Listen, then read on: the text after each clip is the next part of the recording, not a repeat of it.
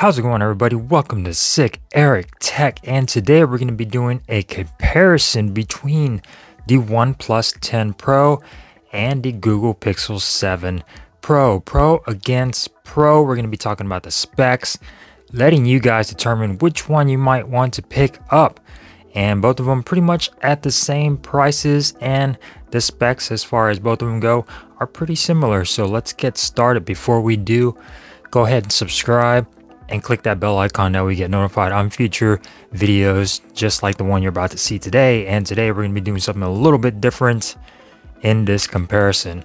Talking about the uh, build on both of these, uh, the One OnePlus 10 Pro is about 6.42 inches tall, 6.91 inches wide, and 0.34 inches in thickness. It weighs at about 7.9 ounces going on over to the Pixel 7 Pro.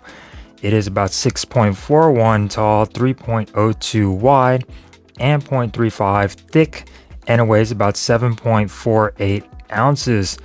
Uh, the OnePlus 10 Pro is Corning Gorilla Glass Victus, and the back is Corning Gorilla Glass 5 with an aluminum frame, IP68 dust and water resistance, T-Mobile version only, and uh, as far as the Google Pixel 7 Pro, Gorilla Glass Victus on the front and the back with an aluminum frame, IP68 water and dust resistance as well.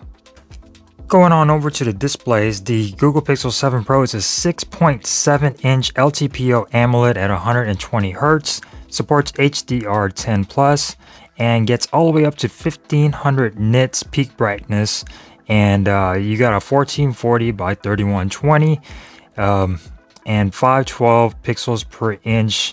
And like I said earlier covered in Corning Gorilla Glass Victus with an always on display. Going on over to the OnePlus 10 Pro you get an LTPO 2 fluid AMOLED display with the 1 billion colors 120 Hz HDR10 plus and all the way up to 1300 nits peak brightness with a resolution of 1440 by 3216 and 525 pixels per inch. Again, always on display is included as well and covered in Corning Gorilla Glass Victus, just like I mentioned earlier. Both fantastic displays. You can't go wrong with either one. Both of them get really bright outdoors. Both of them are slightly curved on the edges as well. The only difference is you get a center hole punch cutout on the Pixel and the hole punch cutout on the left hand side of the OnePlus 10 Pro.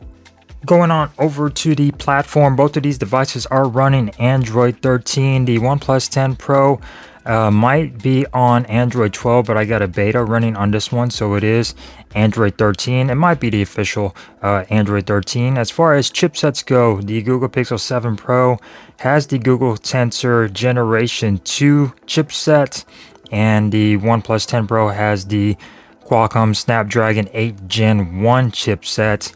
You get um, the Mali G710 MC10 GPU on the Google Pixel 7 Pro, and you get the Adreno 730 GPU on the OnePlus 10 Pro.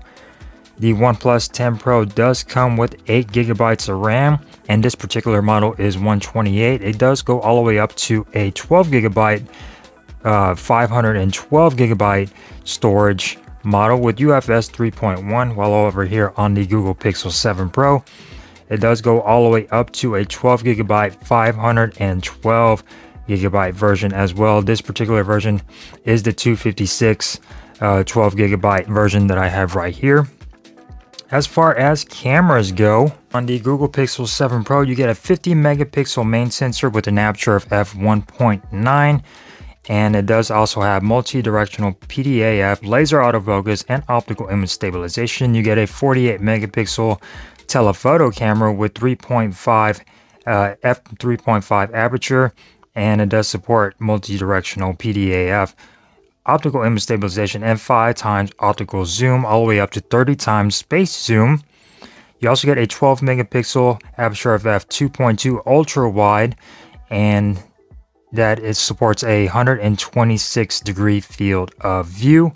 You can record up to 4K 30 60 frames per second on the Google Pixel 7 Pro. Front facing camera is a 10.8 megapixel aperture of f2.2 and you can record up to 4K 3060 on that as well, auto HDR, etc. Going on over to the OnePlus 10 Pro, you get a 48 megapixel main sensor, aperture of f1.8, multi-directional PDAF, laser autofocus, OIS as well.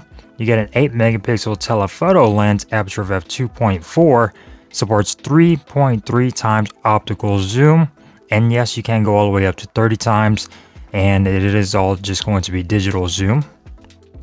You get a 50 megapixel ultra wide with an aperture of f2.2 with a 150 degree field of view, so that's fantastic. You get Hasselblad color collaboration calibration on there as well. And the OnePlus 10 Pro does support 8K 24 frames per second all the way up to 8K recording on the OnePlus 10 Pro. Front facing camera is a 32 megapixel camera with an aperture of f2.2 and it does support auto HDR, but you could only record at 1080p 30 frames per second. So both of these cameras are fantastic. The Google Pixel 7 Pro might take better photos during the day and at night and a little bit better video, but the OnePlus 10 Pro is no slouch here. The colors are going to be very poppy and very saturated due to Hasselblad's color science. And both of them do really well. The OnePlus 10 Pro's camera front facing camera recording at night seems to look a little bit better than the Google Pixel 7 Pro. A lot less noise on that front facing camera despite only being 1080p. Going on over to the stereo speakers, both of these do have stereo speakers. The OnePlus 10 Pro does support Dolby Atmos with a lot of different functionality on there as far as being able to control your music and uh, have a lot of different features on there while the Google Pixel 7 Pro has no Dolby Atmos whatsoever.